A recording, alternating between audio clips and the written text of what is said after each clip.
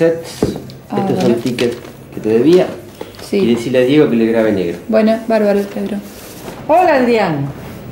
Mari, ¿qué tal? ¿Cómo estás? Sí. No, sobre todo saber qué piensan de él. Claro. ¿Alguien estudió con él?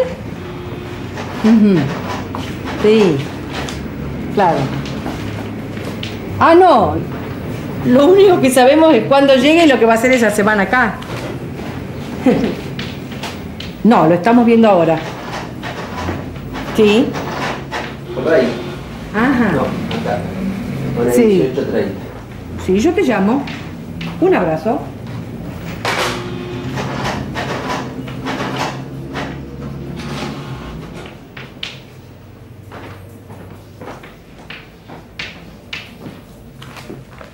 Y pasar. Che, Carlitos, ¿viene o no viene al final? En principio no. Está buscando un suplente. Tenemos un problema con eso. ¿no? Un problemón.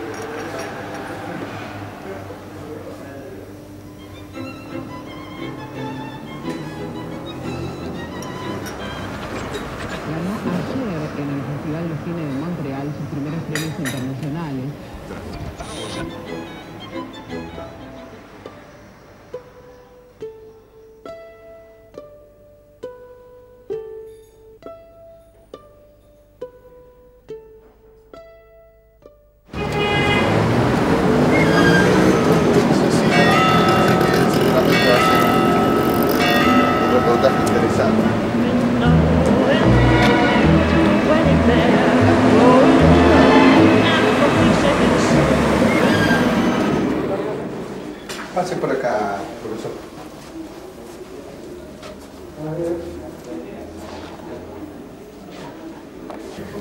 Rogelio, yo los dejo. Bueno, ¿Eh? cómo no, yo me... Conversen tranquilo. Eh, Rogelio lo acompaña, después lo va a estar esperando el chofer del rector y lo lleva al hotel. Que Hasta luego. contra- Discúlpeme, siéntese un cachito más acá. Ahí. Listo. Eh, ¿Estamos grabando ya? Sí. Lo hubiéramos dicho, estamos... No, no, empecemos eh, de vuelta porque estábamos... Vi todo así de pronto. eh, es parte de lo que teníamos que hablar, pero quería encabezarlo de otra manera. Avísenme cuando empezamos.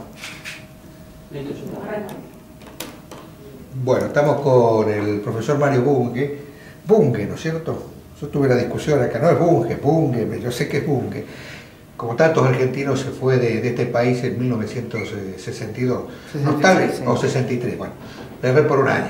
Nostalgia por, eh, por regresar a la Argentina o deseos de nostalgia volver. por la Argentina cada vez que veo un tero o cada vez que veo o que, que oigo hablar en argentino, mm, por supuesto que tengo nostalgias. O cada vez que me veo con, con un viejo amigo, con un pariente, desde luego, sí. Pero no me atrevo a, a- a venir. ¿Por qué no a tengo-? Porque no soy un guerrero. Para venir acá hay que venir pertrechado. ¿Es para tanto, le parece? Sí, claro, porque siguen los ataques a la ciencia, porque sigue, porque no hay todavía filosofía original, ni, ni, ni- ni- ni se, ni, se, ni se tolera la filosofía original. ¿Qué opina usted cuando algunos de sus adversarios ideológicos le imputan eh, ser cientificista? Ah, me, parece, me, me siento muy orgulloso. ¿Y por qué? Porque el anticientificismo es simplemente el oscurantismo. La ciencia es la manera, o la, investigación científica es la manera mejor de obtener la verdad y nosotros buscamos la verdad. Los anticientificistas, los oscurantistas no buscan la verdad porque no creen que exista. Los postmodernos dicen que no existe la verdad, o si existe es local, no, puede ser universal. Gente que quiere retrotraernos a la época en que vivíamos en los árboles. Cuando yo hablo de ciencia, incluyo no solamente las ciencias naturales, sino también las ciencias sociales. Y las declamaciones en contra de la ciencia son, solamente sirven a un grupo, al grupo que quiere que la gente siga embrutecida, siga inculta. A su juicio, ¿por qué retrocedió la Argentina? 1930, 6 de septiembre de 1930 se produce el primer golpe fascista en América Latina. El primer golpe fascista. No fue fascista el 6 de septiembre, pero al cabo de dos o tres meses sí se convirtió en fascista. Entonces, predominio de los militares, predominio de la Iglesia Católica, una, iglesia, una de las iglesias más reaccionarias de la historia del cristianismo. Predominio de los latifundistas, predominio de, de, de los pronazis eran de los eh, simpatizantes, no había naz- nazismo, había fascismo italiano. El otro, la otra, tenemos tiempo todavía. Usted tiene tiempo, a lo mejor yo no tengo.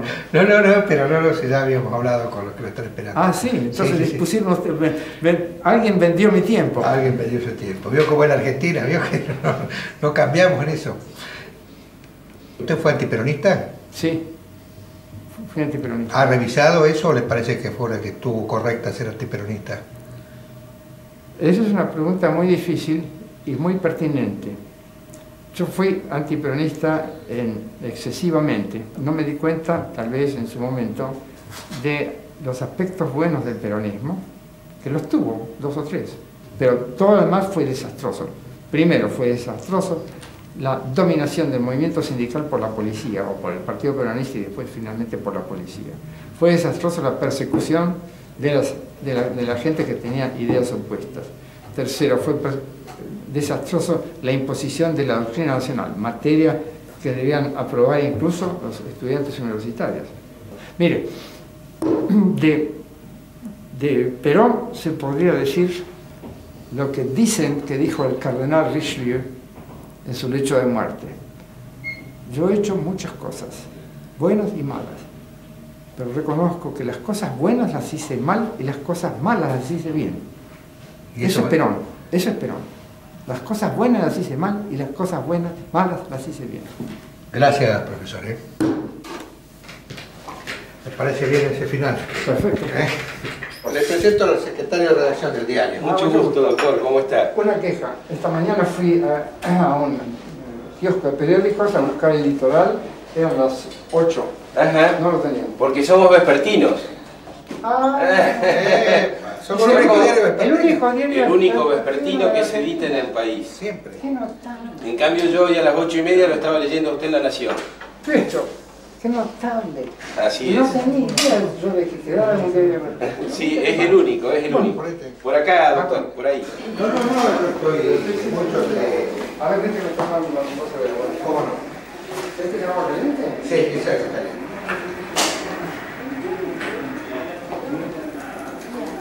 Sí, señor.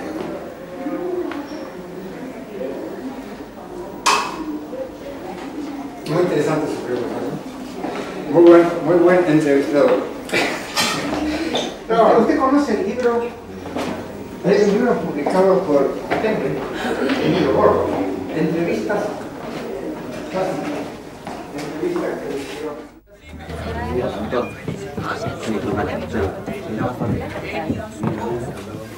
Ingeniero, ¿cómo le va?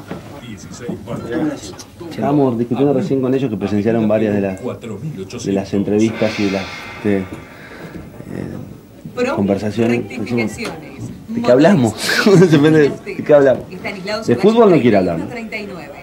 Teléfono De fútbol profesional, comercial no. Es un macaneo más creíble. No, no, no, no es un Ah, el deporte, es, el un- es, es un, es- así es. Presentó la reflexión Yo soy gran, gran admirador del fútbol. Yo era arquero, calidad hincha de boca. Y Corderitos. ¿Usted era arquero en serio? ¿Arquero alcanzó a jugar en su equipo de barrio? El equipo de barrio, por supuesto, porque yo el era el que tenía la pelota. 12 y 13, vamos a tener una charla más que entretenida. ¿eh? Los invitados está el arquitecto eh, Mario Barleta, el rector de la universidad, que nos trajo a la visita de lujo anunciada ya con anticipación Mario Bunge. ¿Qué tal? Buenos días. Muy bien, buenos días. Doctor Burge, eh, a nosotros nos interesa mucho cómo nos ve usted como argentinos. Usted hace 33 años que vive en Canadá. ¿Por qué 35. decidió abandonarnos? ¿Por qué decidió irse del país? Porque a fines del 62 ocurrió el famoso enfrentamiento entre los colo- colorados y los azules. ¿Se acuerda? El ejército, dos divisiones, dos eh, fracciones del ejército. Fue muy sangriento. Entonces yo hice la única predicción política correcta en mi vida. O sea que muy pronto iba a venir una dictadura militar. Y yo no estaba dispuesto, ya había sufrido unas cuantas dictaduras y había conocido unos pocos años de libertad, desde el 55 hasta el 62, siete años, y me dije, no, ¿para qué voy a perder el tiempo? Entonces decidí aceptar la primera oferta que viniera de afuera. Y me llegó un llamado telefónico de Estados Unidos y nos fuimos. Quemamos las naves. Eh, hay como un discurso en la gente de que no más políticos. ¿Usted qué piensa? No, eso es una barbaridad. El rechazo a la política lleva al fascismo, lleva al totalitarismo, lleva a la centralización del poder político. En una democracia todos tenemos que ser políticos. Lo que ocurre es que no tenemos que ser pasivos, tenemos que participar. Yo a mis alumnos digo siempre, afíliense a partidos, no importa cuál, pero militen en política. Y si no en política, en organizaciones que se ocupen de cuestiones sociales. No, no el antipoliticismo lleva directamente al totalitarismo. Me imagino que se le cruza por la cabeza la idea de volver a la Argentina. Sí, más de una vez. ¿Todavía hoy? Por lo menos una vez por semana. Bastan cinco minutos de reflexión para cambiar de idea. ¿Pero cuántas, cuántas veces por año viene? Ah, una vez. Ah, ah una, no Sí, más. Una vez. ¿Pero ganas tanto a mi mujer como a mí? Mire, ayer nomás oí un venteveo. Me trajo una saudade tremenda. ¿Le quedan amigos de la infancia? ¿Amigos a los que ve, con los No, que se de, comunica? de la infancia no, pero de la juventud sí. a- amigos de la universidad sí. Mm. Unos cuantos. Pero se se van, se van muriendo. ¿Y no le aconseja que se vayan usted? ¿Eh? ¿No le aconseja a sus amigos que se vayan también? No, al contrario. Yo he escrito un- incluso un artículo. Tú que puedes, vuélvete. No te vayas. Si te has ido, vuélvete. Tú que puedes. ¿Se acuerda de aquella can- canción de, de Atahualpa Yupanqui? Doctor Bunge, vuelva. Muy bien, gracias. Es un pedido. Muchísimas gracias por haber venido. Es- ha sido la verdad que un lujo. Gracias a ustedes. No lo merecíamos. ¿Cómo no? Ingeniero Barleta, gracias. ¿eh? No, por favor. En la mañana de Muchísimas gracias. El termómetro es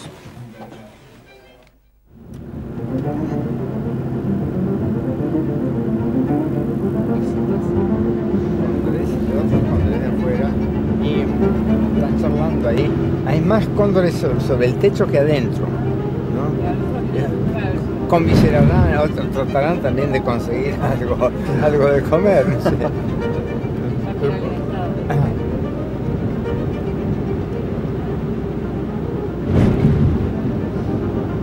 Eso, eso desde hace muchos años, por lo menos medio siglo.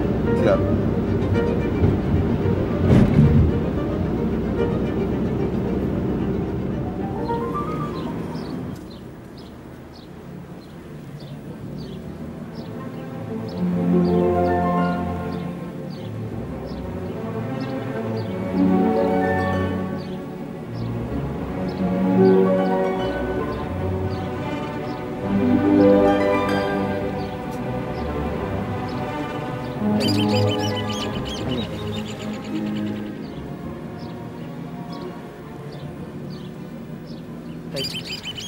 Allá. ¿El venteveo? Ese es el hornero. Sí, yo me lo, ¿sabes qué? Que me lo confundo con el venteveo a veces. Ah, ¿El venteveo? Ah, sí, sí. Se llama en inglés oven bird. Eso, Ah, sí. Lo mismo, hornero. Un pájaro que no, no, no he vuelto a ver es el espinel.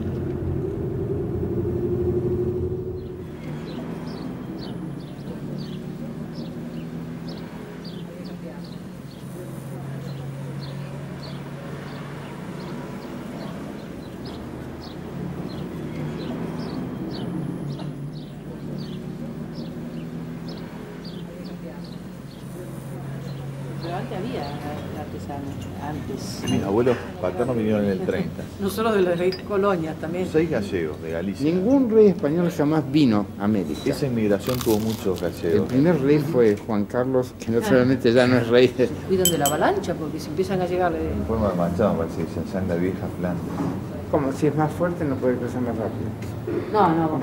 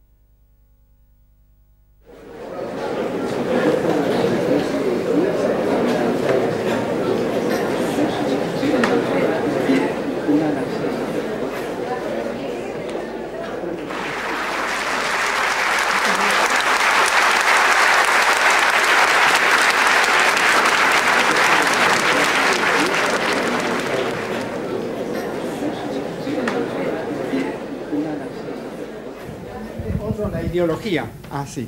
Ay, no hay con qué.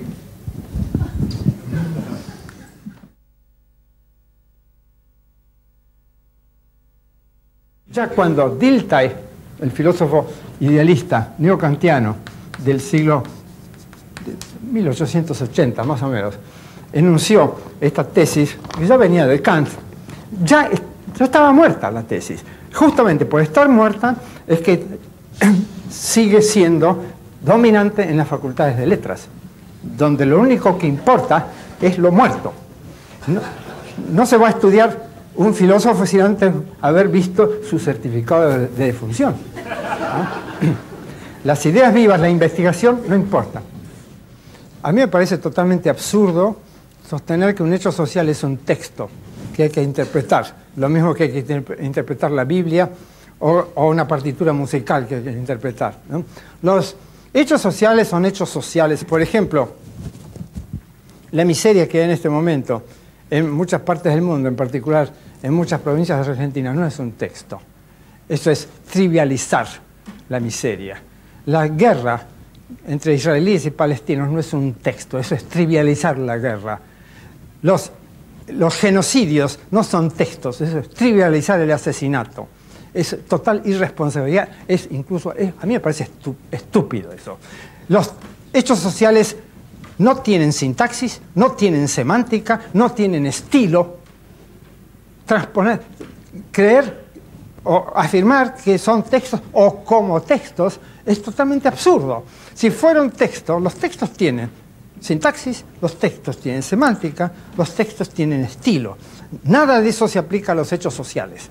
Es una mera analogía y muy mala analogía. Es, una- es un, un pretexto para no salir de los textos, para afirmar con Derrida, il n'y a rien hors le texte, no hay nada fuera del texto, porque claro, Derrida no hace otra cosa que mirar textos, en particular los suyos, no hace otra cosa, no mira la realidad. Pero yo pregunto, ¿qué problemas en las ciencias sociales han resuelto estos señores? ¿Se han ocupado de los problemas sociales importantes? Por ejemplo, Alfred Schütz, que fue el principal sociólogo fenomenológico, dijo explícitamente, siguiendo las enseñanzas de Husserl, que los sociólogos fenomenológicos no debieran de tomar, de abordar problemas gordos, tales como la pobreza, tales como la guerra, tales como la marginación, o sea, ninguno de los problemas interesantes.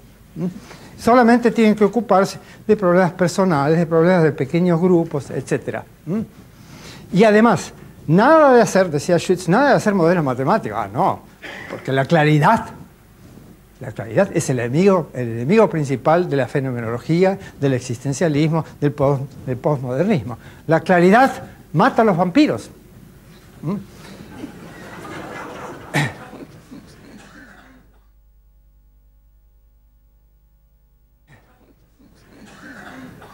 Sartre, que yo sepa, hay tres Sartre. El filósofo deleznable plagiario de Heidegger, plagiario, tradujo al francés páginas enteras de Heidegger sin citarlo. Sartre, el comediógrafo. Muy interesantes las comedias, a mí me gustan. Tercero, Sartre el político. Se divide a su vez en dos. Stalinista y después el que combatió con mucho valor la intervención francesa contra Argelia. Con mucho coraje lo hizo. ¿Mm? Entonces, hay tres Sartre y medio. ¿Mm? ¿Por qué elegir a, a los que no valen? Yo voto por el Sartre comediógrafo y por la mitad del político. ¿Mm?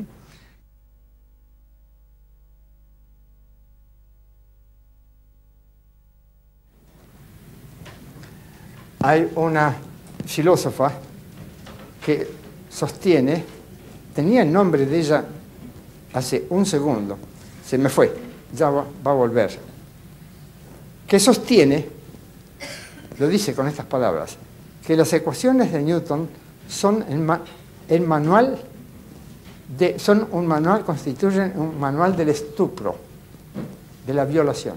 ¿Qué es lo que es violado? La naturaleza. Y sabemos que la naturaleza es femenina, todos, ¿no? Entonces, naturalmente, la mecánica sirve para violar la naturaleza. La importancia que tienen las ecuaciones de Newton para entender y para prever los movimientos de los cuerpos, no se, se le escapa. Harding, Susan Harding. En realidad no tendría que escribirlo. Del mismo modo que no habría que repetir el que quemó la biblioteca de, de Pérgamo o el que incendió el museo de, de Alejandría. A esa gente, la memoria de esa gente hay que obliterarla. Y tiene mucho predicamento entre las estudiantes. ¿Y cuál es el efecto neto? El efecto neto ha sido desviar la atención de las chicas de las ciencias, chicas que inicialmente se interesaban por las ciencias, al ver que las ciencias son simplemente una herramienta del poder, poder masculino, porque la ciencia, según estas otras tesis, es que la ciencia es falocrática, es falocéntrica. ¿Mm? Escriban ustedes las, las leyes de Newton y díganme si tienen algún contenido social o sexual. La ciencia es asexuada, los científicos no, pero la ciencia es asexuada.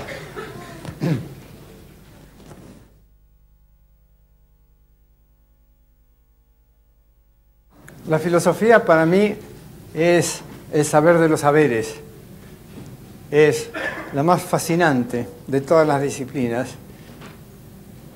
es la disciplina que si está mal hecha es la más peligrosa, si está bien hecha debiera de ser fructífera y consiste en ocuparse de cualquier cosa, pero desde un punto de vista muy, muy general, adoptar un punto de vista muy general y adoptar las mejores eh, tools, como se dice, herramientas de que se dispone, herramientas exactas para analizar y para sintetizar. Porque para mí el mejor análisis es la síntesis. Esto parece paradójico, pero consiste en lo siguiente. El mejor análisis de un concepto es meterlo en, dentro de una teoría, hacer que ese concepto se relacione con otros dentro de una misma teoría.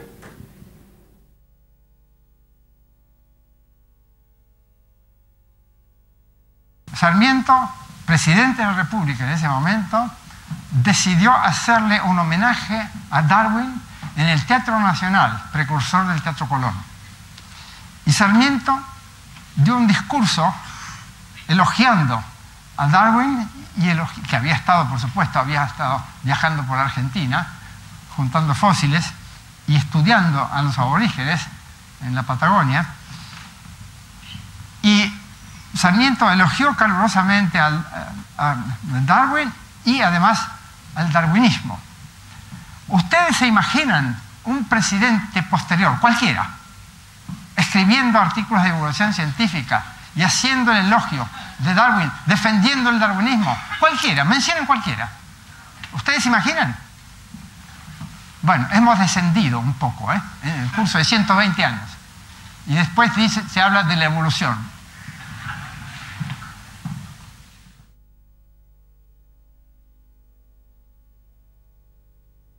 Según la Constitución, es una condición, la idoneidad es una condición necesaria para ejercer la función pública.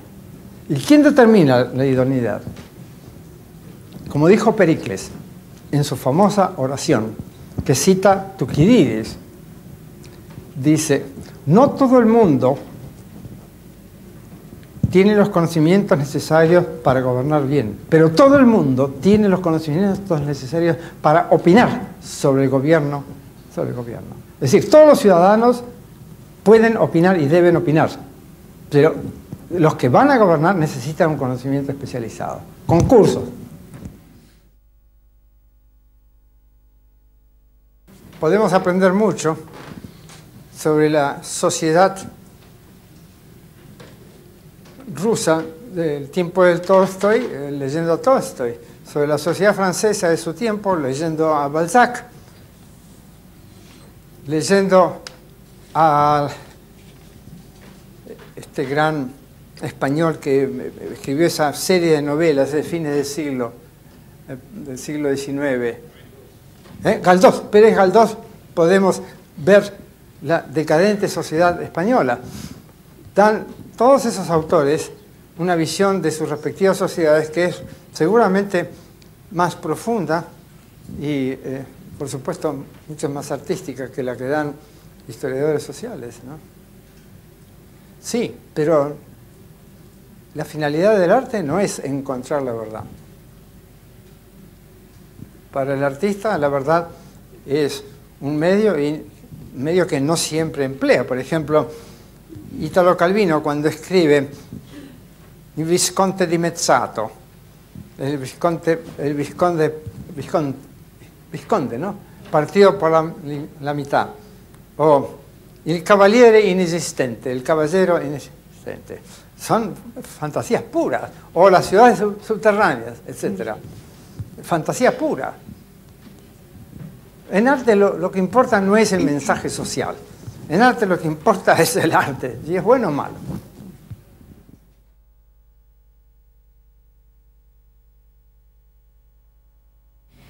Explicar la causalidad de, de sucesos es representar lo que se quiere explicar en el sistema de lenguaje acordado o aprendido. En este sentido, hasta la ciencia es relativa, aunque correcta y coherente en su gramática. ¿Qué opina de esta racionalización del relativismo? La verdad es que no entendí. Para mí es muy- complicado. Yo soy un hombre sencillo. Yo necesito textos escritos a mi altura, si no los entiendo. La explicación causal o no causal debe ser lo más clara posible y debe hacerse, por supuesto, en términos de leyes o normas, porque en el caso de los hechos sociales no basta con, la- con las leyes. Hace falta también explicar la conducta en términos de normas, normas morales o normas legales. Pero en todo caso, ya digo, no, no entendí la pregunta. Científicamente, pero estamos muy, muy lejos de saber, por ejemplo, algo acerca del amor. No es una cuestión meramente hormonal, también es cognitiva. ¿no? Pero dicho sea de paso, el, el cerebro está inundado de hormonas. Son neurotransmisores las hormonas. De modo que por ahí anda la cosa. ¿Se acabaron? Con el amor se acabó. ¡Qué lindo!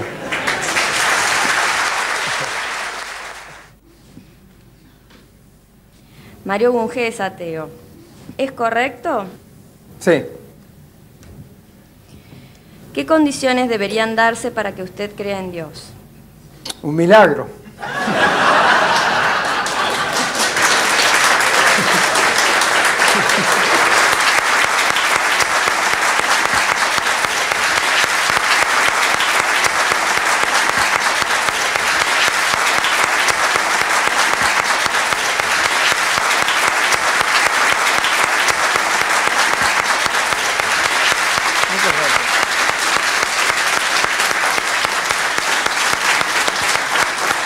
Los directores de orquesta.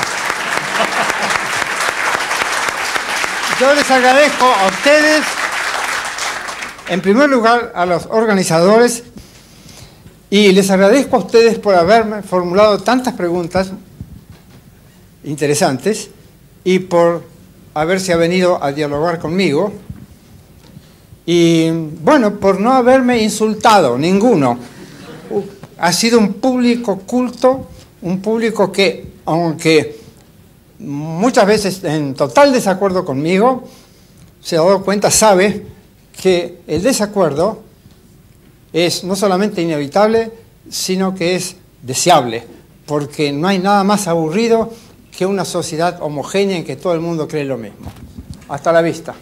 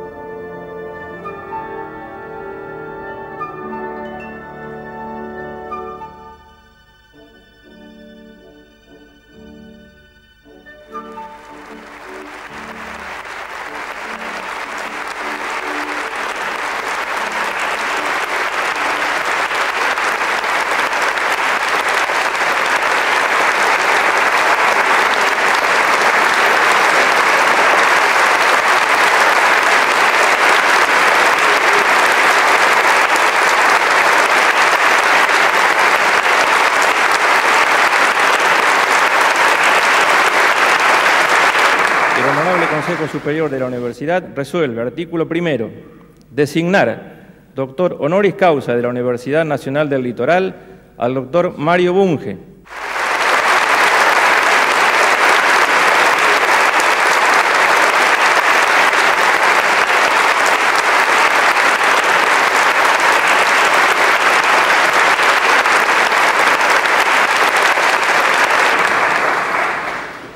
Tenemos el honor de recibir la visita de un intelectual argentino de renombre internacional en el ámbito de la filosofía de la ciencia. No es esta la primera vez que nos visita. Queda en la memoria su paso por el Instituto de Historia de la Ciencia durante 1942, organizado por el ingeniero Babini y el rector Cortés Pla, y el dictado de su primer conferencia universitaria en la Facultad de Ingeniería Química en 1943. Los avatares de la vida política nacional lo alejaron, no solo de nuestras aulas, sino también del país a partir de 1963.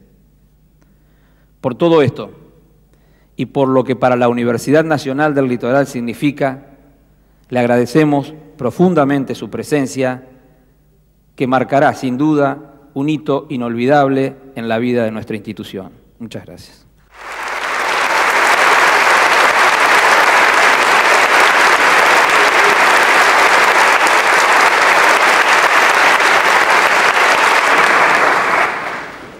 En el curso de las dos últimas décadas han ocurrido tres acontecimientos que dejan chicos a todos los demás. El primero es la desintegración del imperio soviético, con el consiguiente eclipse del ideal de la igualdad. El segundo acontecimiento es el triunfo político a escala cuasi planetaria de la ideología neoliberal, que preconiza retrasar el reloj social en un siglo y McDonaldizar el estilo de vida de todos los habitantes del planeta. Y el tercero es la revolución informática, que ha transformado la manera de trabajar, comunicar, investigar e incluso comerciar de millones de personas.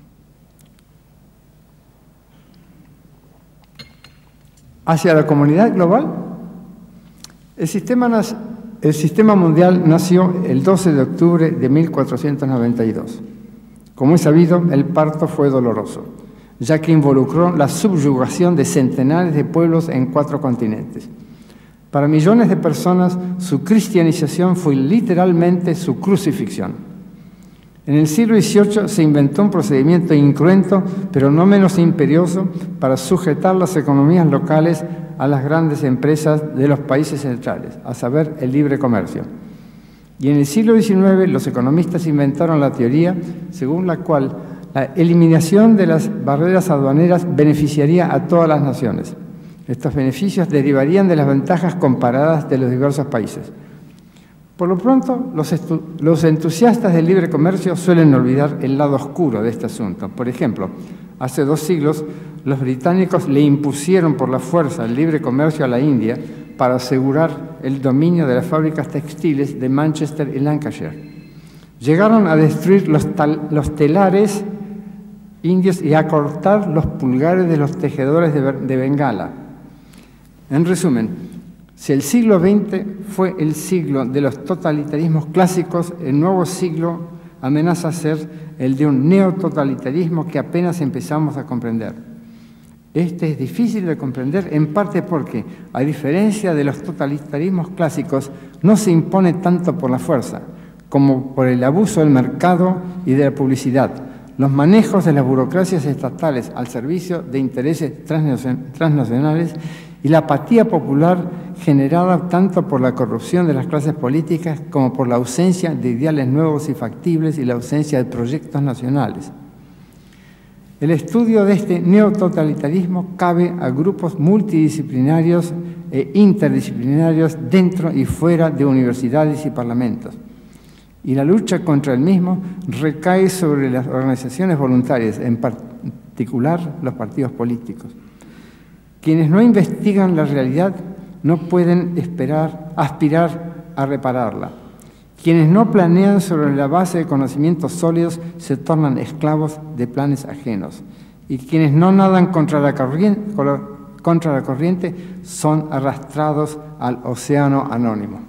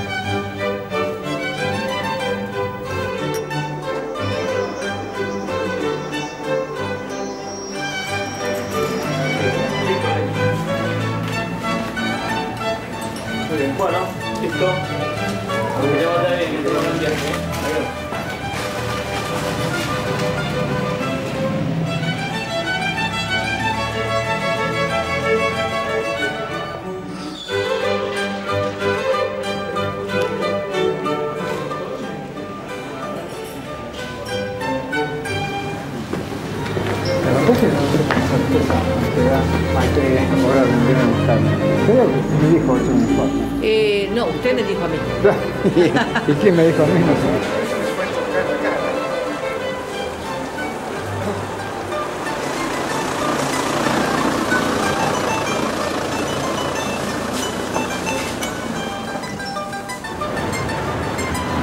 Buen día, señor Cordero.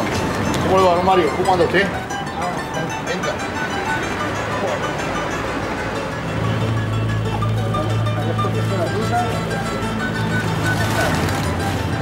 ¿Viene el, ca- el camarógrafo? No sé. Creo que sí, viene el, ca- el camarógrafo, ¿no? Chao. Que le vaya muy mucho, bien. Mucho, mucho gusto. Adiós. Adelante. Muchas gracias Adelante. por todo. Adiós. Gracias, doctor. Gracias. ¿Cómo anda? Bien, bien.